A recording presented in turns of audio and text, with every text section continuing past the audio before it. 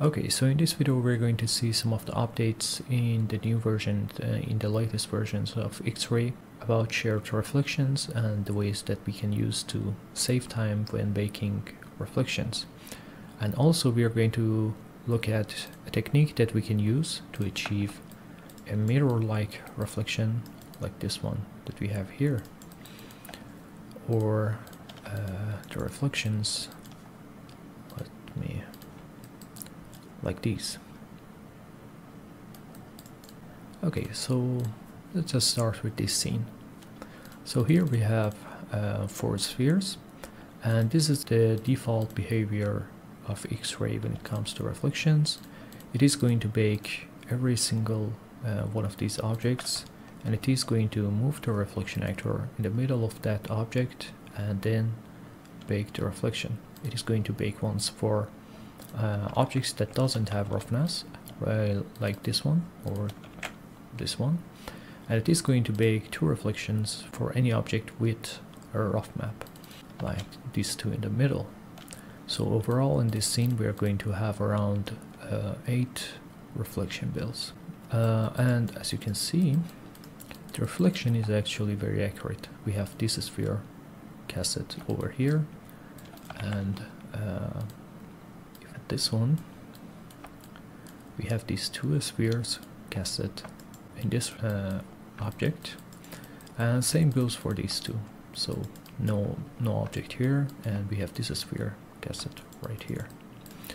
So a new option that we have in uh, the latest version of X-Ray is for objects with a rough map. So if I uncheck this bake reflection per material and let's say if I assign a rough map to all of these. Let's assign a checker here. And a checker here. I'm going to update shader. So uh, for these if I uh, bake the reflection now it only baked it twice uh, just like uh, if it is baked only one object with a rough map. And if we look the reflection result let's use this you can see that the reflection of this object is right and if I check this one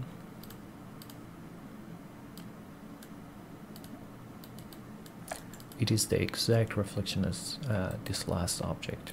So it is going to just bake uh, the reflection for one of these objects and then just share it on all the other uh, objects in the scene. And this option is uh, of course per reflection actor. So if another object has a, another reflection actor, uh, that the options on the reflection actor may override these settings.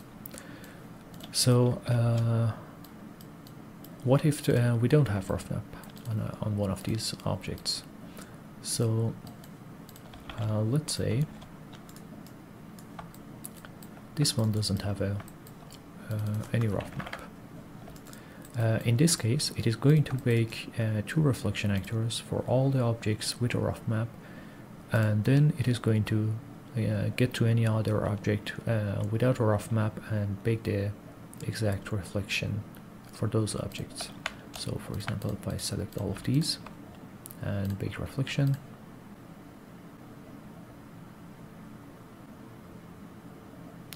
can see that it baked it three times and now uh, this object has a very accurate reflection. And these other ones are just shared the same reflection. This is uh, this is going to give you a very nice accuracy if you want to uh, have a very uh, exact roughness that you defined here for these objects but uh, if you're working on a scene with a lot of objects and the accuracy of those reflection aren't that important to you and you don't use rough map uh, it is still is going to bake a lot of reflections so in that case uh, what you can do is uh, enable shared reflection on your reflection actor so all of these uh, objects here are using this reflection actor. I'm going to select the reflection actor, add attribute, shared reflection. And if I look here, we have a shared reflection uh, attribute on this channel box. And when this is enabled if I let's say move the reflection actor over here I'm going to disable auto move uh, reflection actor. So it is going to just pick it in this place. And now if I uh, build a reflection it is going to just build it once for all of these that. And you can see that it is now uh, having the same map on all of them.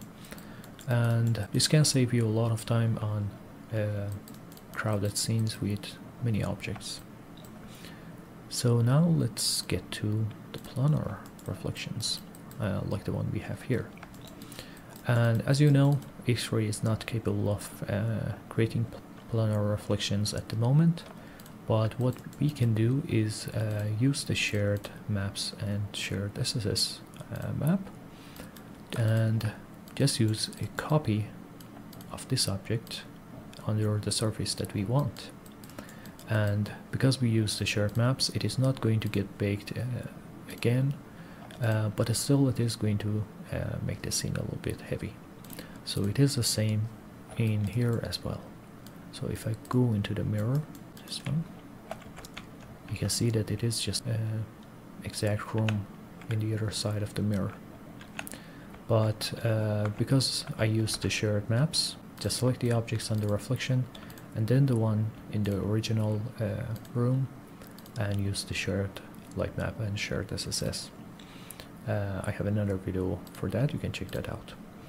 And it is going to lock these uh, objects built uh, by default so they are not going to get baked again.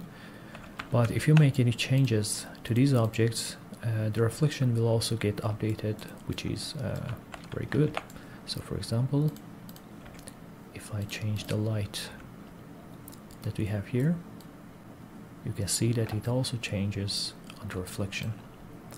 Or if I enable it and just change the color it is going to uh, be the same on both the room both of the rooms. And this is a very uh, good solution for the moment that we don't have a very good planar reflection. And uh, if uh, for other cases for example the grounds if you have a rough uh, ground like this one uh, you probably don't need to use these techniques. Just a regular reflection actor may be just fine but when you have a mirror like this one there's nothing you can do. You have to use a technique like this.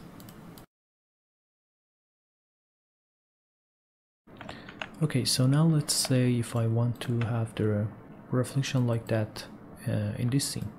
Uh, I think the current reflection is actually very good for the floor but uh, let's say it's important for me to have the reflection of this table on the ground so all I need to do is just duplicate it. And this is our duplicate because I have uh, set a hotkey for uh, duplicate with light map. It also gets duplicated with the light map here. But uh, if I bake it now it is going to get baked separately. So uh, to avoid that I'm going to use shared maps. First select the uh, copy and then the original table share maps and share light map. And now they are using the same light map for both of them. So now let's just move it here. Let's freeze the transform and then just flip it from this axis. It is going to look like this. Now uh, we're going to uh, just make the floor a little bit transparent.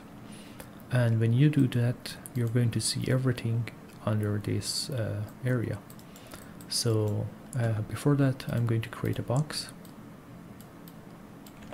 a black box pretty much exactly as the one that we have right now and let's just remove the top and reverse it.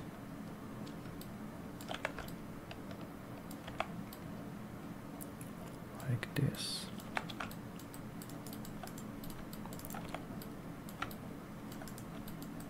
Okay, so now just lower the opacity, update the shader, and you can see that we we can see the table uh, into reflection. You can also assign a map to this opacity. For example, I can use the rough map and use it as opacity. Let's create a remap. Yeah. And now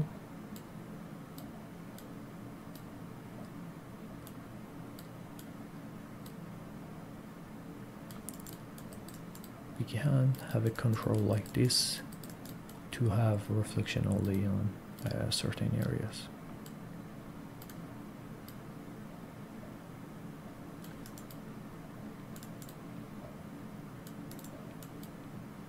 Like this. And in many cases you don't really need to have the whole room uh, copied, just having a few objects uh, can give the illusion of a real reflection to viewer. And uh, let me show something else as well. Um, so uh, you can also uh, do some tricks to uh, fade this reflection a little bit. So if I create another box or maybe a sphere like this, put it inside this object and then just um, let's assign a new material. And for the transparency I'm going to connect a ramp like this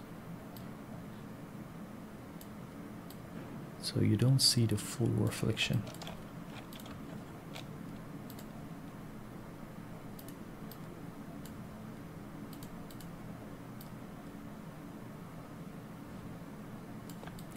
And because of the transparency sorting you can see that it looks very bad at the moment. Just go to our uh, viewport option and change the transparency algorithm. So I'm going to do something like that it looks like that. We need to move it down.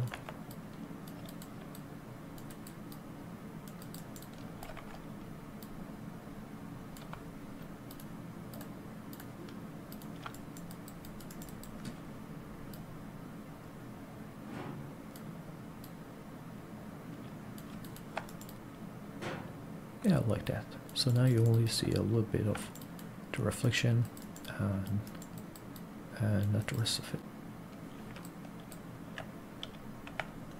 Let's freeze the transform. And just flip it down.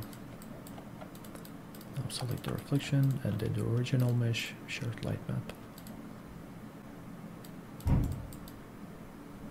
Just like that.